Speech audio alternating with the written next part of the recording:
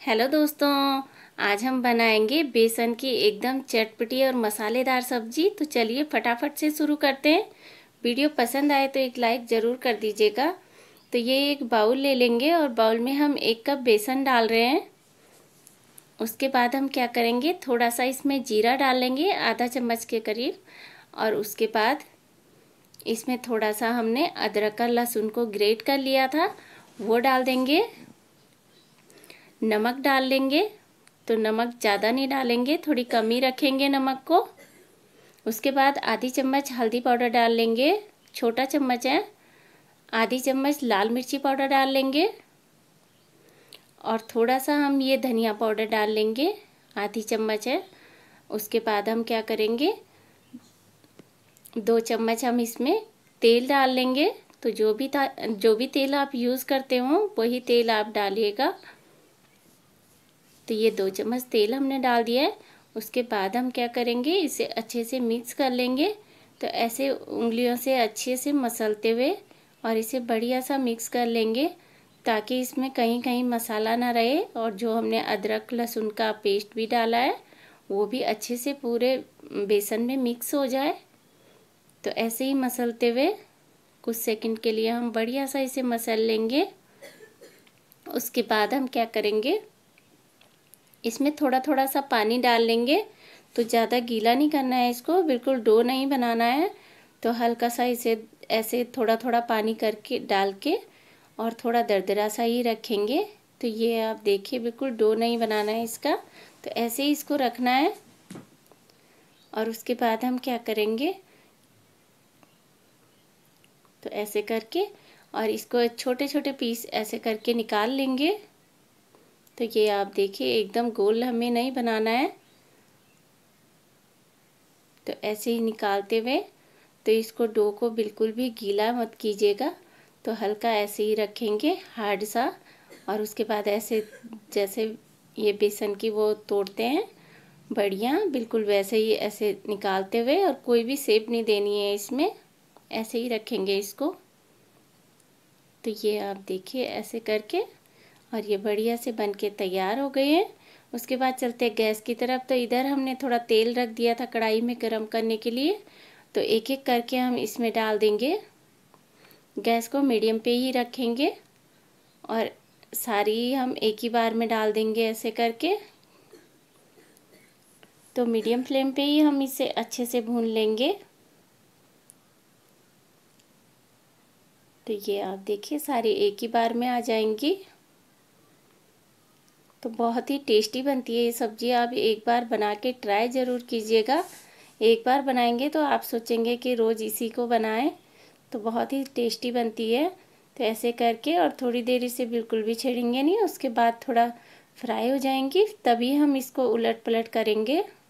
तो ऐसे करके और बढ़िया सा इसे सेक लेंगे। बढ़िया सा फ्राई कर लेंगे। तो ये आप देखिए, बढ़िया सा कलर आ गया इसमें। तो अब हम इसे निकाल लेते हैं। थोड़ा सा रोक लेंगे और उसके बाद इसे निकाल लेंगे।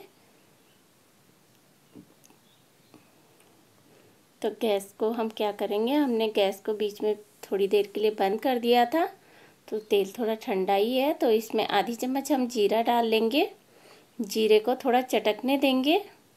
उसके उसके बाद हमने दो प्याज मीडियम साइज़ के ऐसे ही लंबे लंबे कट कर लिए थे। तो इसको डाल देंगे और इसको प्याज को भून लेंगे। तो गैस को हम लो और मीडियम के बीच में ही रखेंगे और इसे बढ़िया सा भून लेते हैं ऐसे करके ताकि इसके जितने भी लच्छे हैं वो भी खुल जाए। और ये प्याज को हमको एकदम ब्राउन करना है। बढ़िया सा कलर आने तक भून लेंगे। तो ये आप देखिए, ये प्याज को हमने भून लिया है। तो ये थोड़ा सा हमने मसाला कूट लिया था, अदरक, लहसुन, थोड़े से खड़े मसाले। तो सारे हमने एक साथ ही मिक्सी में दरदरे पीस लिए थे।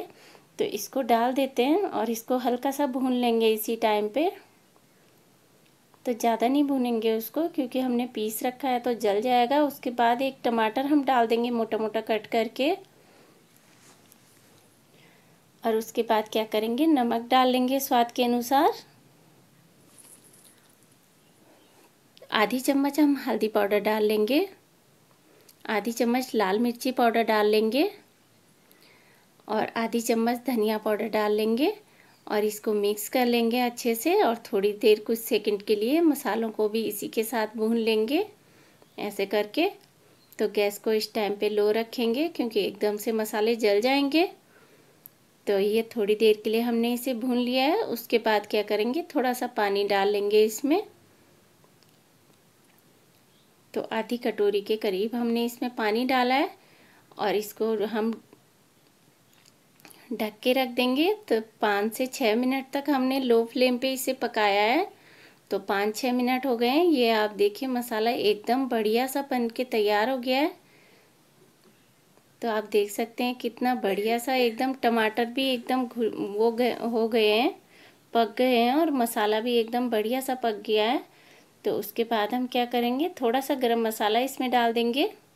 तो मसाले आप कोई और भी अगर पसंद करते हो तो वो भी आप डाल दीजिएगा।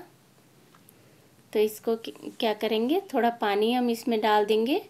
तो एक कटोरी पानी हम इसमें डाल रहे हैं और इसे अच्छे से मिक्स कर लेंगे ऐसे करके। तो इसे बढ़िया सा मिक्स करके और गैस को मीडियम पे कर देंगे और इसे एक उबाल आने देते हैं। तो ये आप देखिए, ये उबलने लग गया है, जो पानी हमने डाला था। तो ये बढ़िया सा मसाला देखिए, आप बिल्कुल तैयार हो गया है। तो अब हम क्या करेंगे? जो हमने बढ़िया फ्राई करी थी बेसन की, वो हम इस टाइम पे डाल देंगे और इसको अच्छे से मिक्स कर लेंगे। तो ऐसे करके तो आप देखने में ही देखिए, कितनी टेस्टी लग रही है सब्ज़ी। खाने में तो बहुत ही टेस्टी होती है। तो ये अब हम फिर से इसे क्या करेंगे कि तीन चार मिनट के लिए हम इसे ढक के रख देंगे और लो फ्लेम पे पकाएँगे इसको। तो ये आप देखिए कितनी बढ़िया से ये एकदम बढ़िया सी पक गई है। तो अगर आप ज़्यादा पानी चाहते हैं तो आप पहले ही थोड़ा पानी ज़्यादा डाल दीजिएगा या फिर आपको सूखी सब्ज़ी चाहिए तो थोड़ा पानी कम डाल लीजिएगा। तो अपने हिसाब से आप पानी कम ज़्यादा कर सकते हैं। तो आप देखिए, सब्ज़ी हमारी बिल्कुल बन के तैयार हो गई है। तो ये आप देखिए, कितनी टेस्टी लग रही है देखने में ही। खाने में तो बहुत ही टेस्टी लगती है। तो अब हम क्या करेंगे, गैस को बंद कर देंगे और उसके बाद आपको सर्व करके दिखाते हैं। तो ये आप देखिए, हमारी एकदम टेस्टी सी सब्ज़ी तैयार हो गई है। Thank you.